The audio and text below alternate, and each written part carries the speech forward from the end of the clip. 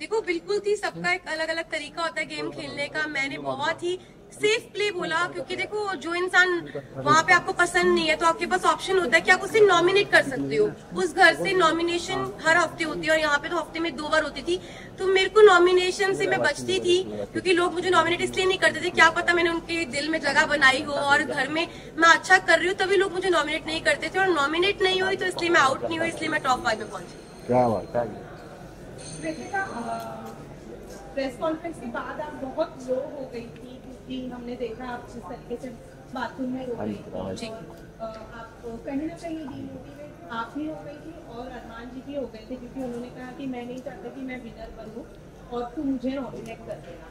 ये लोनेस क्यों? क्योंकि आप लोगों ने कहीं ना कहीं एक्सेप्ट तो कर लिया है कि हमारा रिलेशनशिप है सब अच्छा है तो फिर फिर क्यों इतना देखो सबसे पहले तो जितने भी लोग हैं मैं सबको ये बोलना चाहती हूँ कि हम तीनों बिल्कुल भी सपोर्ट नहीं करते पॉलीगैमी को। और शादी हो गई है इसको सात साल हो गए जब हम लोगों ने शादी की थी हम लोग सोशल मीडिया पे नहीं थे चीज़ें हो गई।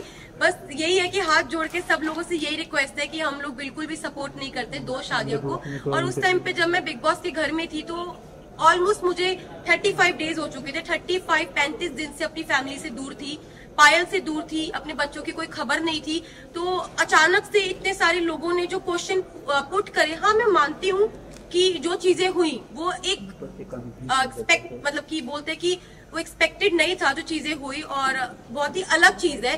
तो पर जो लोगों के क्वेश्चन थे ना वो कहीं ना कहीं ना मुझे हर्ट कर रहे थे और मुझे ये चीज़ सुनने में आई थी कि पायल के बारे में जो लोग बोल रहे थे तो वो चीज़ों के बारे में मुझे ना टेंशन से हो रही थी। मतलब कुछ चीज़ें मुझे खाई जा रही थी और हम बिग बॉस के घर में थे मेरे पास फ़ोन नहीं था कि मैं अपनी फैमिली को पूछ सकूँ क्या वो ठीक है क्या मेरे बच्चे ठीक है। तो बस एक होता है ना कि आप पैंतीस दिन से भरे हुए थे और वो उस दिन जो बातें हुई उस बातों से मुझे तोड़ दिया और मैं इमोशनली ब्रेक डाउन हो गई थी। पर फिर जब मैं रोई और मैंने अपनी जो दिल की बात थी अरमान जी से शेयर करी फिर मैं थोड़ी सी मेरा जो दिल है वो हल्का हुआ। के को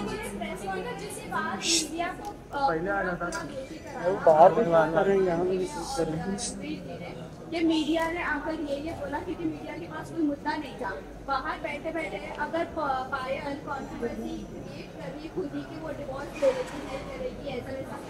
आप लोगों ने आप लोगों ब्लेम ऐसे क्यों किया कि मीडिया की ही गलती है मीडिया ने ये किया पायल ने ऐसा नहीं बोला होगा क्या ये बात हेडलाइन बनाने के लिए पायल कर रही थी सब कुछ? तो देखो अभी तक मेरे को फ़ोन नहीं मिला है मैं डायरेक्ट घर से आई हूँ अभी तक जस्ट मैंने अभी तक मैंने फ़ोन यूज़ नहीं करा जिस टाइम मैं घर पे थी तो मुझे जो चीज़ पता चली क्योंकि देखो मैंने घर में ये चीज़ सुनी नहीं थी। ना मैंने देखी, ना अपनी आँखों से देखी, ना अपने अपने कानों से सुनी कि पायल क्या बोल रही है। तो मेरे को एक, कहीं ना कहीं अरमान जी को रणबीर जी, सबको ये लग रहा था कि हो सकता है कि कोई कोई मेरे को फॉल्स स्टेटमेंट दी हो या कोई बात को घुमाया गया हो, क्योंकि जब तक इंसान अपनी आँखों से नहीं देखता, अपने कानों से नहीं सुनता, वो विश्वास नहीं कर सकता। लोगों के ऊपर भी लगाई और उन्होंने बराबर से जवाब नहीं दिया। वो आपको नहीं लगता कि वो सही है? अगर नवकेश के बारे में कोई आकर बोल रहा है कि कर रहा है तो बराबर से उनको ऐसा लग रहा है कि हाँ वो सच बोल रहा है। लेकिन जब हम आकर कोई मीडिया आकर आपको बोल रही है तो आपको गलत लग रहा है। वही मुन्नावर ने भी आपकी सेम बात बोली डिवोर्स वाली बात। तब भी आपको नहीं यकीन हुआ? नहीं, मुझे यकीन नहीं हुआ, क्योंकि देखो, ये जो बात है ना बहुत ज़्यादा, आप समझो, मैं घर के अंदर हूँ, चालीस दिन से घर में अंदर हूँ, अचानक से कोई ये बात बोलता है पायल डाइवोर्स वाली बात जो बोल रही है, ये इतनी शॉकिंग बात थी कि इसकी वजह से मैं पूरे दो दिन इतना ब्रेक डाउन रही हूँ, इतने इमोशनली मतलब हर चीज़ से मैं जूझ रही थी उस घर के अंदर। तो मुझे कहीं ना कहीं लग रहा था कि मैं अपने दिल को ये चीज़ समझा रही थी कि क्या पता ये बात सच हो, क्या पता ना हो, क्योंकि मेरे को यही था, मैं बाहर जाऊँ और मैं पायल से डायरेक्ट बात करूँ। जब मैं घर से बाहर निकली टॉप फाइव में जब मैं इस रेस से बाहर निकली, मैं बाहर निकलते ही स्टेज पे पायल थी और मैंने उससे पूछा, तू ठीक है ना? उसने बोला हाँ मैं ठीक हूँ। बाकी बात बात की अभी तक मैंने फ़ोन अपने नहीं देखे कुछ नहीं देखे। बेटी मेरा सवाल आपसे है कि जैसे कि Payal please one by one please Payal कह रही कि डिवोर्स में लेने जा रही है इसका मतलब पायल ने बिना डिवोर्स लेके आप दोनों ने शादी की। तो इसका मतलब आपकी शादी तो नल एंड वॉल्ड हो गई है। According to the Indian law कि अरमान और जो आपकी शादी है वो असली रियल में शादी है ही है कानूनी हिसाब से। उस पर आप क्या कहना चाहेंगे? देखो मैं सबको यही बात बोल रही हूँ हम लोग पॉलीगैमी को सपोर्ट नहीं कर रहे जो दो शादी है इसको बिल्कुल भी सपोर्ट नहीं कर रहे।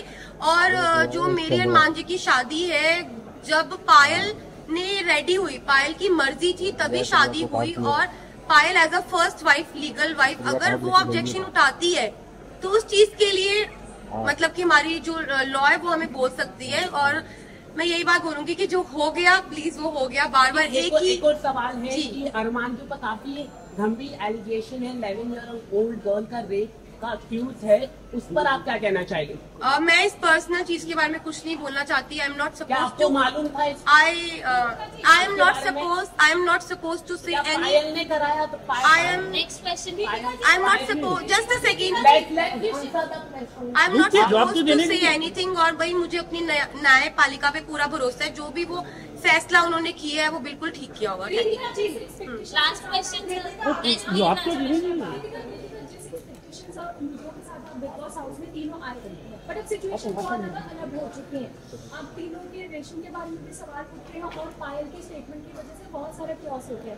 आपने अब दो दिनों में जो सिचुएशन फेस की उसके बाद अब मेंटली प्रिपेयर है क्योंकि फैमिली से भी बात होगी पायल से बात होगी और आपको अपने जो कड़क चैनल के ज़रिए आपके फैंस आपके सब जी मैं बिल्कुल प्रिपेयर हूँ हर चीज़ के लिए। हम तीनों ने जो हमारा रिश्ता है वो आप लोगों को सभी को पता है और मुझे पता है कि वो इतनी इजीली नहीं टूटेगा। अब मैं बाहर आ गई हूँ जो भी चीज़ें हैं जैसी भी चीज़ें सारी चीज़ें इकट्ठी बैठ के फेस करेंगे। एक आपको एक सवाल आपके लिए कि आप थैंक यू लास्ट लास्ट पाँच पाँच मिनट भी नहीं हुआ।